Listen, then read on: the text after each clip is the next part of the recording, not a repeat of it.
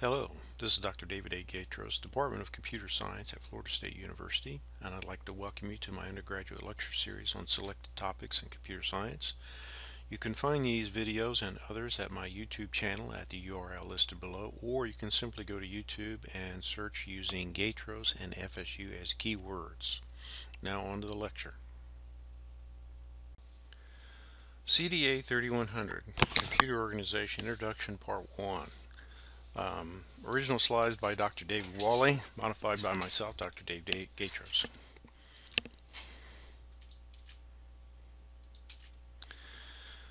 Today's topic, we're going to go over uh, classes of computers, great architecture ideas, software levels, and computer components. The uh, remaining we'll do in another video.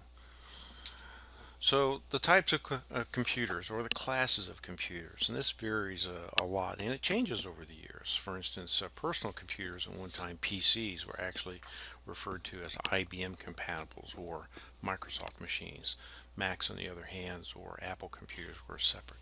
Now they're all considered the same.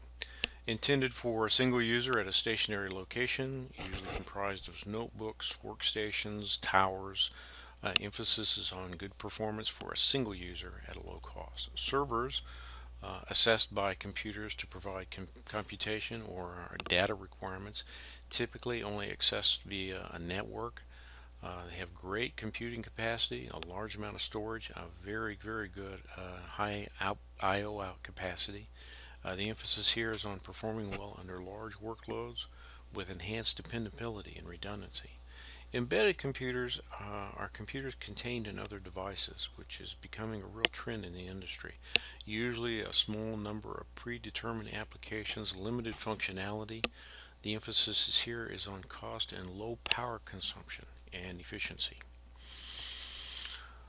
Personal mobile devices, your smartphones, battery powered wireless devices uh, with multimedia uh, user interfaces. Um, usually included uh, in this are smartphones and tablets, uh, reliances on touchscreens, emphasis on cost and energy efficiencies. And the last one we have is large uh, cluster warehouse scale computers, um, usually comprised of a collection of servers connected to a network to act as a single powerful computer. So you don't know which server you're actually looking at. Um, supercomputers are probably also contained in this category, although many places will actually put them in a category by themselves. Emphasis is on scalability and availability handled through the network. Now we're going to talk about great architecture ideas. I'll ask you to remember these. Design for Moore's Law. Moore's Law says that the number of transistors in a chip doubles every 18 to 24 months. We'll talk about this in subsequent lectures, but this is beginning to slow down a little bit. The idea here is that uh, when you design something, you have to anticipate the change in technology or the advances in technology in your design.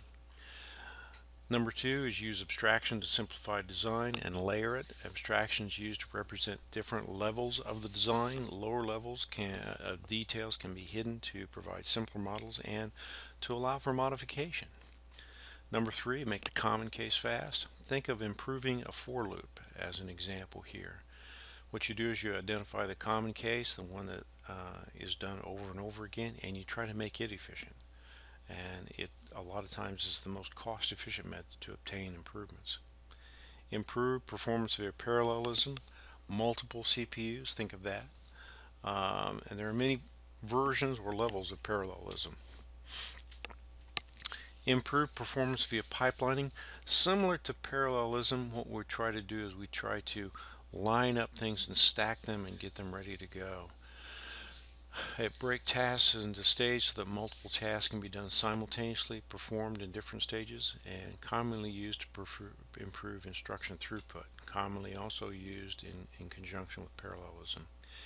Improve performance via prediction sometimes faster to assume a particular result rather than waiting until the results is known, especially um, if it's a, it's a very, very common results.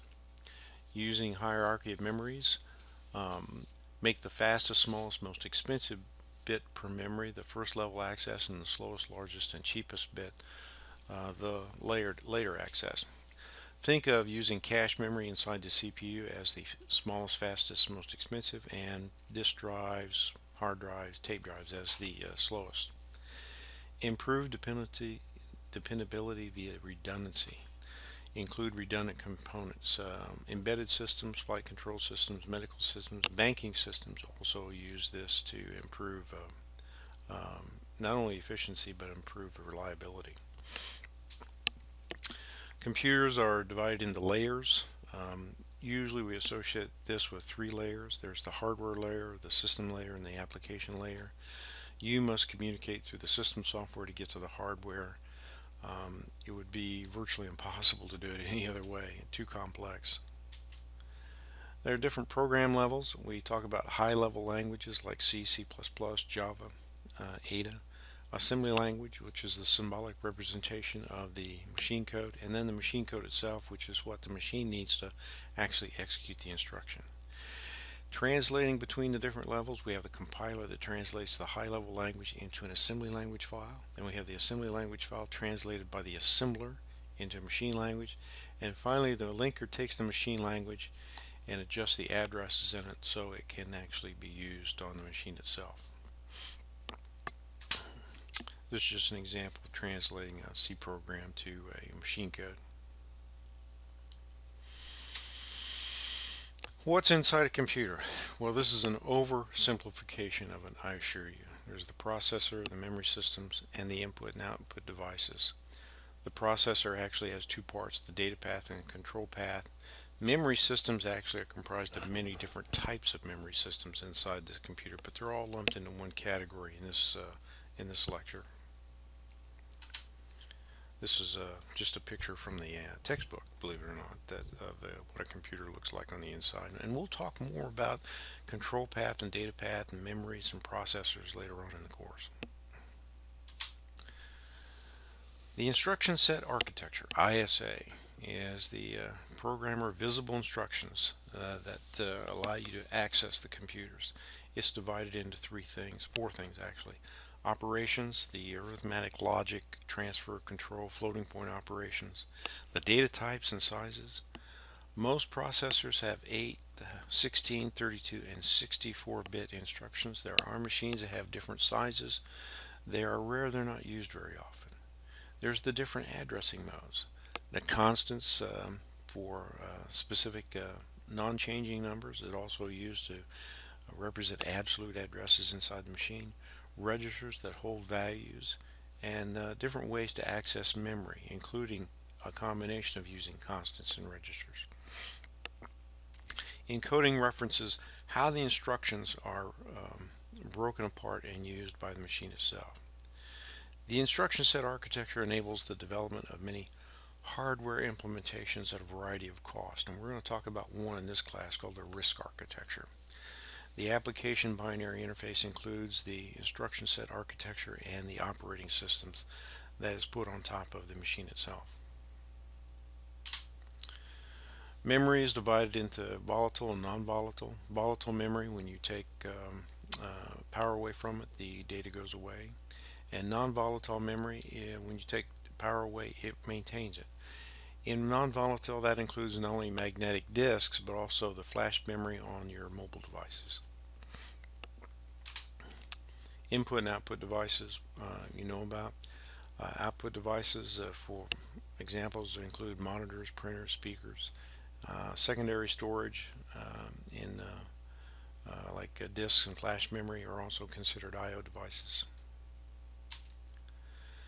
Most computers today now use network connections, different from about 30 and 40 years ago.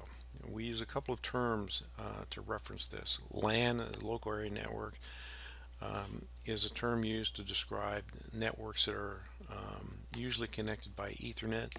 LAN is usually associated with a network that's administered by a single entity. Uh, they can be connected via switches and routers. Wide area networks usually are comprised of multiple LANs that communicate with each other.